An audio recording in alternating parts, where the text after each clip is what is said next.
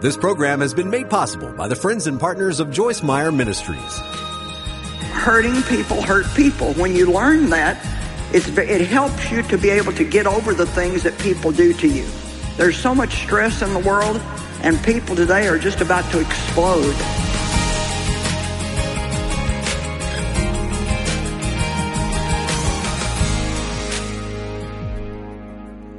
takes a lot of strength to be able to forgive somebody, let it go, and trust God to do what only God can do.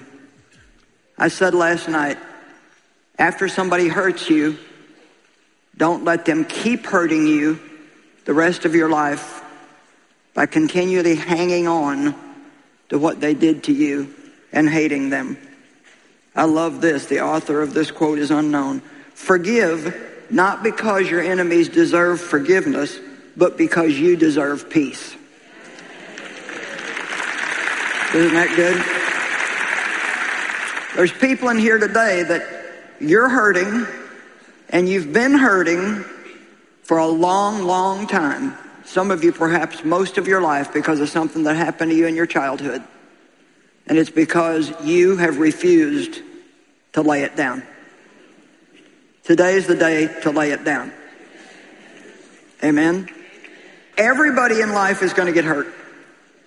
I don't care who you are, what your background is. You have already been hurt. You probably will get hurt again. But the good news is, is the great healer lives on the inside of us as believers in Jesus Christ. You know, I'd been hurt a lot in my childhood, abused by my dad and a couple of uncles and my grandfather. And married the first guy that came along when I was 18. I got married, and that was like the dumbest thing I could have ever done because he was in worse shape than I was. And you know, a lot of times wounded people marry other wounded people and then they just keep wounding each other. And I did it out of desperation. I thought nobody would ever want me, so I just grabbed the first guy that came along. How many of you know that that's a tendency when you're afraid of loneliness? You'll take something even if you know down deep in your heart it's not going to be the right thing. Amen? Yeah. Preach. Amen. And, uh, but then you find out once you got it, you got it. And so we were married five years, but it was more like a joke than anything else because he constantly would run around with other women, didn't work, and, and uh, just was a con man and a petty thief and wrote bad checks and you know, it, I mean, it was just a mess. And he'd leave me all the time. He abandoned me in Albuquerque. He abandoned me in Oakland, California, and I'd have to borrow money and come home on a bus. Why? Why is it that women that have been hurt will marry somebody like that and then just keep going back to him and keep going back to him? Come on, is anybody hearing me? And keep going back to him. You deserve better than that. And so did I. But you got to stand up for yourself. Amen. We usually get what we put up with in life. I had, I mean, a boatload of problems. So when I stand here and tell you that the Word of God works, and it will change you, and it will heal you, I'm not telling you because I read it in a book. I've experienced God's healing power in my life, but I am going to tell you that it will take more than you just praying to be healed. We pray, and I think we're, we have a misconception about prayer. We think when we pray, then God fixes everything. But you know what I'm finding out more and more even in the last two or three years? When we pray, very often, God shows us what we need to do. Now, I'm not saying that God doesn't move supernaturally. Anything we cannot do, He will do for us. If we're going to do nothing and expect God to do everything, then that's not going to happen. And if you've been badly hurt by someone, you can get completely well and be whole. But I am not going to tell you some fabricated, made up story. It will not be easy. It will take time. It will take you doing some things that you'd rather not do, things that you don't feel are fair, like forgiving people. and maybe even being required by God to bless those people.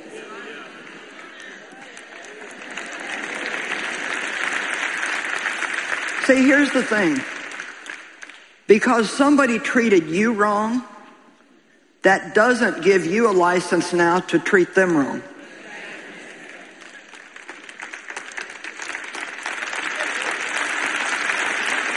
I don't know what, what makes us think that.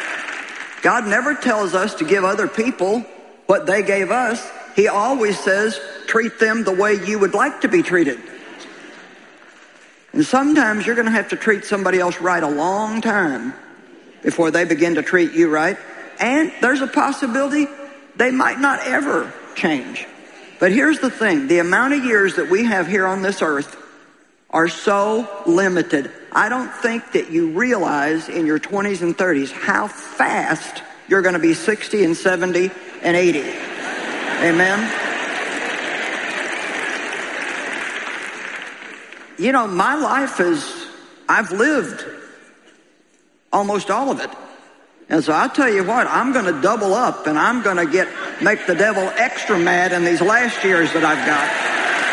Because, I mean, what God has done in my life is absolutely amazing. And I can tell you, it is actually totally impossible if it was anything other than God. There is no way that what God has done in my life could have happened. And He can and is and wants to do the exact same thing in every one of your lives. But the first thing you've got to give up is all bitterness, all resentment, all hatred, all offense. You have to let go of that stuff because even as we read earlier before I started actually the sermon in Mark 11, it says that whatever we ask in Jesus' name, believing that we have received it, we will get it. However, when you stand praying, if you have anything against anyone, you have to leave it, drop it, let it go, or your Heavenly Father cannot forgive you. Can somebody please hear that enough to actually believe it today? Do we realize what that's saying? That any prayer that I pray, if I'm praying it with unforgiveness in my heart, God cannot and is not going to answer that prayer. Sometimes we're praying for God to change somebody and we're in the middle of hating them while we're asking God to change them. You know, you can't love what you want somebody to be. You got to love them where they're at. Did you hear me? We can't love what we want somebody to be. We have to love them where they're at, and that will help them get to where they need to be. And I'm not suggesting that you let people abuse you or you let them take advantage of you. That's not what I'm talking about at all. But I am saying that you don't, you can't carry this stuff around in your heart. Think about what Jesus said on the cross. Father, forgive them for they know not what they do. Stephen, when he was being stoned, said, Forgive them. We read last night how Paul, when everybody deserted him, he said, Lord, forgive them. You know, I think a lot of times when people hurt us, they really don't know what they're doing. They're acting out of their own pain. A lot of times people hurt us and they don't even realize that they've hurt us. And, and I'm not saying at all that my father did not know that what he was doing to me when he was sexually abusing me was wrong. He had to know it was wrong or he wouldn't have gone to such extremes to hide it. But I really don't believe that he understood what it was doing to me.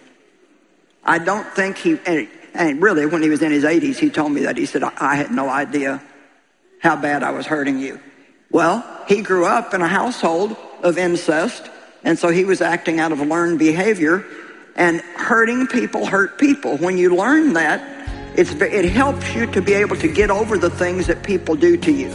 There's so much stress in the world, and people today are just about to explode, and they end up hurting other people, and then we keep letting them hurt us by staying bitter and miserable.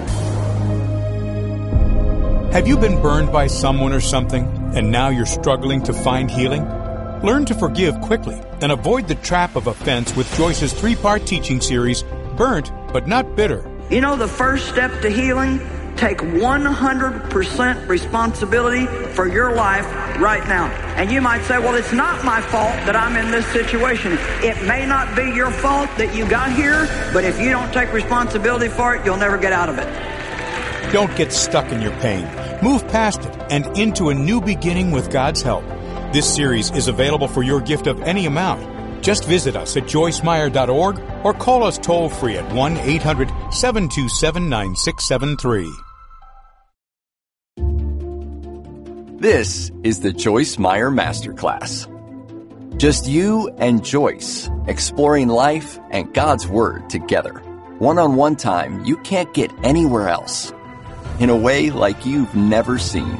Exclusive content, study tools, and special features. Your own personal experience at your own pace with your own instructor. And that would be me. Grab a pen. Deepen your faith in God and grow in His Word. The Joyce Meyer Masterclass. Sign up now at joycemeyermasterclass.com. You're hardworking, an achiever. The fast pace can stress you out and lead to burnout unless you make the necessary changes now. Joyce Meyer wants to teach you how with her newest book, How to Age Without Getting Old. In these pages, you'll learn how to let God lead you today so you can be even more effective in the future. How to Age Without Getting Old, new from Joyce Meyer. Order your copy today.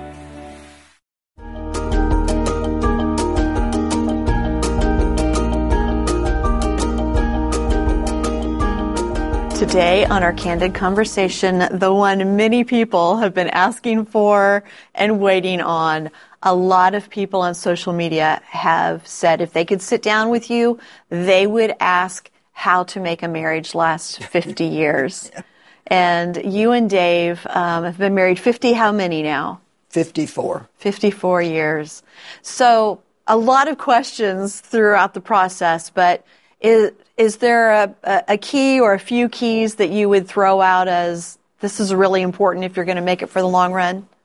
Well, first of all, I do think that uh, being believers in Jesus mm. and both of us wanting to please Him and be obedient to Him has made a huge, huge, huge difference. Mm-hmm. And um, especially in the beginning of our marriage when I had so many personality problems because of being abused in my childhood. And um, I mean, I, I, honestly really didn't know how many problems I had. I really didn't. I didn't. I look back now and I think, how in the world did he make it through those first few years? So, Dave had definitely been prepared by God spiritually for me. He had had a very strong walk with God. And, you know, I don't want anybody that's listening who says, well, yeah, I don't have, you know, my husband's not like that, so, you know, mine will never work. I mean, God can work in different ways in different relationships and situations. But in, in my case, um, you know, I tell the story that Dave and I had five dates and he asked me to marry him. And right. he, he, he had been praying for a wife and he wanted God to give him somebody that needed help. And that, when you, when you think about that, who prays that? So it really had to be a desire that God put in his heart. Yeah. I mean, nobody prays, you know, I want to get married, but make it somebody that's got a bunch of problems so I can help. I mean, not a not you, a prayer I you prayed. Don't do that. Yeah. So Dave and I both realized that our relationship was supernaturally put together by God for the purpose that we all see. And um, now that doesn't mean that, you know, we didn't have anything to do with deciding to right. throw in the towel and quit or to stick it out. But I do think that if people, when they're going through troubled times in their marriage, if they don't have that, I really want to please God mentality, it's too easy to just say, I'm not putting up with this anymore. I'm out of here. You know, there was only one time that Dave ever said to me, he said, if you continue to treat me the way you do, he said, I honestly don't know what I'm going to do in the future. Yeah. And Dave was not the type to threaten.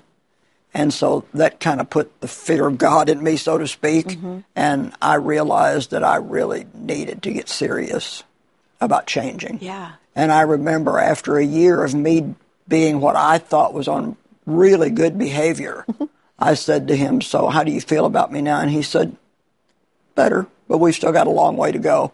And I was really disappointed. But I would say the first three years were probably the most difficult. But even in the midst of that, we still had fun.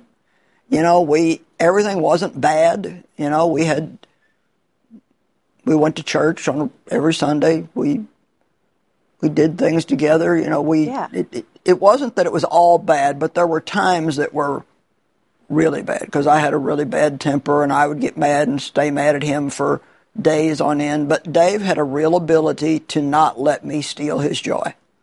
And so I would say to anybody that's in a, we'll just call it for the sake of anything else, a troubled marriage, I think that you, you have to be strong enough in God to not let the troubled person steal your joy.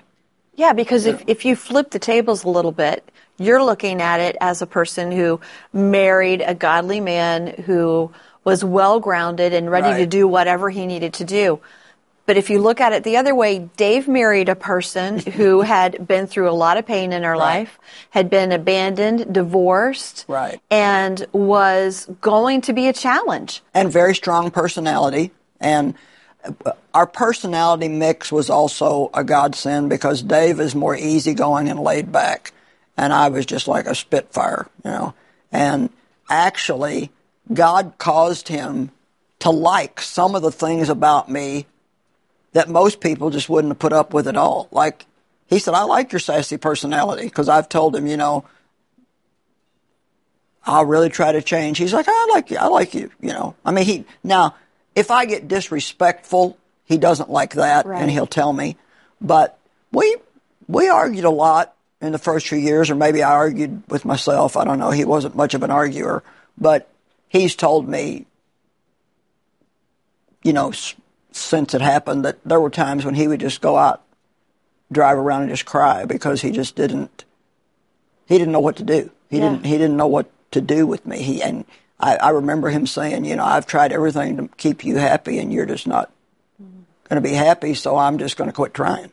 And so Dave just basically lived his life. But the thing, he really did love me unconditionally. You know, when I would receive love, he, he never, he never mistreated me or stopped loving me. I, I didn't know how to receive the love mm-hmm. because I'd been hurt and wounded. But ju- I, I just think about how many people that are Christians that are in situations like he and I were, mm-hmm. and because he stuck it out, look at look at what's happened. And how many people, if they wouldn't just throw the towel in or say we're incompatible or, you know, I'm not putting up with this anymore, how many Christians could have an opportunity to really dramatically change somebody's life if they could be consistent in front of them but still have that unconditional love? Mm-hmm. See, if, if he would have gotten mad at me and mistreated me or not talked to me or, you know, been mean to me, I wouldn't have made it through that. But he he still was always ready to love me if I was ready to receive it. And like I said, it wasn't like it was all bad and we fought all the time. I mean, Right. we we had kids, we did things, we did things with couples at church. You know, I eventually started playing golf with Dave, and you know, a lot of times we think, man, I married the wrong person, or our personalities just don't match at all. But I think more often than not, God's picked out the right person for you. It's just there's things about him that you don't like, Right. and you focus on just that. Yeah, we've talked before that your personalities being very different is sometimes feels like a bad thing, but Right. is often used as a good Yeah. thing that God does for us. Right. Yeah, I mean, Dave's personality was absolutely perfect for me. Yeah. If he would have been a type A like me, we would have probably made it about a month. You know? Yeah.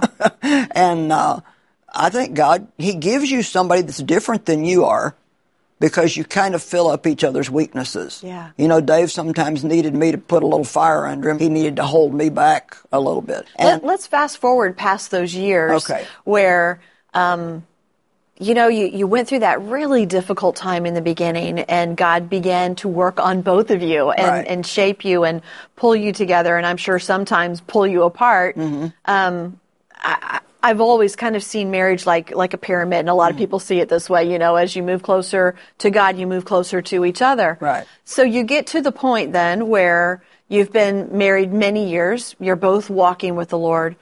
Was it always perfect, rosy after that? I No. mean, because No. 50 years, I'm sure it still had to be rough at different patches along the way. Matter of fact, I'll tell you something. What it's not funny, but it'd be good for people to hear this.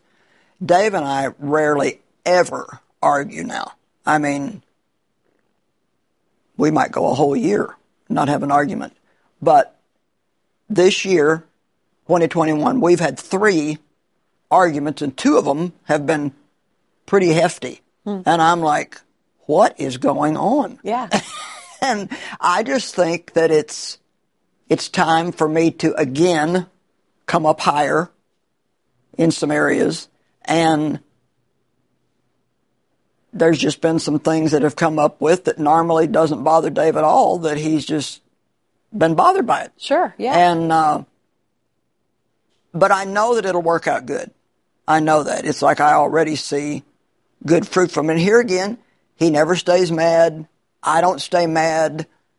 You know, we're both quick to forgive. But I thought it would be interesting for people to hear that that Right. you know, it's I mean, it's been years since we've had that many arguments that close together. It's just like and I know you guys. So Yeah. for you to call them arguments, Yeah. they probably really are. yeah, they were. I because mean, you know there are a lot of little things that we all have together Yeah. but but it's encouraging to people i think to hear that that okay it's been over 50 years and you still have things to work through together Now, Dave would probably say we didn't have an argument, but we did. It, it was, it, let's put it like this: it was a a heated disagreement. If we don't want to call Sure, it an yeah. argument, it was a heated disagreement Yeah. where we just felt differently about some things, and you know, there were some things that he said that I just thought he was totally wrong, and you know, but you always have to go back to God. Usually, like what I do is, I may have my feelings hurt for a couple of days. I don't stay mad.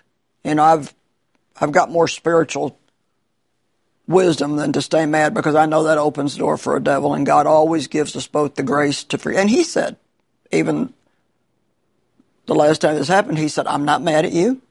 He said, "I just feel like this needs to change," and um, you know, at first I just didn't get it. I mean, I just didn't see it, and then, but if you if you ask God, is He right?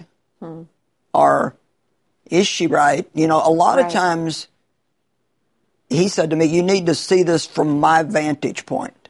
And that's what we don't do a lot of times. We only see our, we only see the way we feel about it and we don't walk around to the other person's side and say, how would I feel if this was me? yeah And you know, um, but like I said, that just rarely ever yeah happens. And I do believe that if we let it, when there is confrontation in a marriage, I do believe that if we let it, it can work out good and everybody can learn something from it and we can go on and be happy. You know, you, I remember reaching a point, and I think everybody has to do this, where, you know, I didn't like this about Dave and I didn't like that and I didn't like something else. You, you know how we get. And it's like, you know, well, I want him to do this and him to, and uh, I remember him saying one time, "You better be glad I'm the way I am, or you wouldn't be doing what you're doing." I Yeah. thought, you know, how many men could let their wives do what he's let me done do, and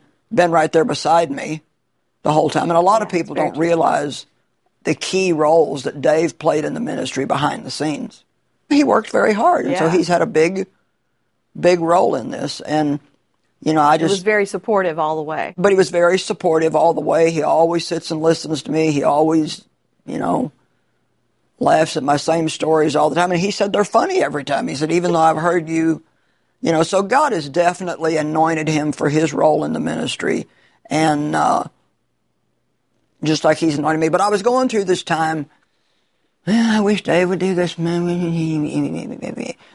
um, I think sometimes everybody, if you're going to stay together, you come to what maybe what I call, I don't want to call it a crisis point because we weren't having a crisis, but it's like you, you have to decide at some point I'm sticking with this forever, Right. yeah. no matter what, or if they keep doing this, I'm out of here. If they keep doing that, I'm out of here. If they keep doing that, I'm out of here. You, you have to be really fully committed. And if you are, then that makes all the difference in the world. A lot of the things that people marry somebody for are still there, but they just find out other things when they start living together in marriage mm-hmm. that, well, I didn't know you did that. Do you know, I didn't even know Dave played golf when we got married. That's He- hard to believe. I didn't even know he played golf. Well, I mean, It was a whirlwind romance. well, we had five dates, and Yeah. he asked me to marry him. I, I mean, I met him in October. and you should have said, wait, Yeah. do you golf? Yeah. I met him in October, and the next year, by January the 7th, we were married. Wow. So it was very, very quick. And um, I always tease and say he had to marry me fast before he found out what he was really getting. And uh, But now he's had 54 years of it, so 54 years, God is you doing know, some great things. we have a good time. Yesterday, we went out together. We both went a couple places together and had a meal. And Dave is normally not what I would call a funny person, but I told him I think you took a funny pill yesterday. He was just cracking jokes all day long and making me laugh. And and I was such a good wife yesterday. I asked him every sports question I could possibly think of. know, nice, good job. I was just like, go, girl. Because, you know, It's what it takes. We are pretty selfish, all of us, sometimes. And to to ask other people what they're interested in and give them a chance to talk about that, I think is important. And I probably don't do enough of that. If learn a person's love language, and Dave's love language is quality time. And he, he does like it if people listen to him when he's talking to them about something. Yeah. But because so much of what he likes is sports and I'm not interested in them, a lot of times I, you know, I don't want to listen. But, you know, love will set aside hmm. its preferences and prefer the other person. Yeah. You cannot marry anybody that's not going to disappoint you once in a while. That's not, you know, like I didn't feel good the other day. I had a little stomach virus and you know, Dave's not, he's just not the kind to say, oh, come here, you know, blah, blah, blah. You know, I called my daughter and she's like, oh, I'm so sorry. And she just like felt sorry for me. And, you know, that's just not Dave. Well, I used to get mad about that kind of stuff. And you, you have to learn to accept the things about people because honestly, they don't know how to give it to you. right. If, if it's not in them, they don't even think about it. They don't know how to give it to you. Right. Yeah. Well, thank you very much for the encouragement, for the advice.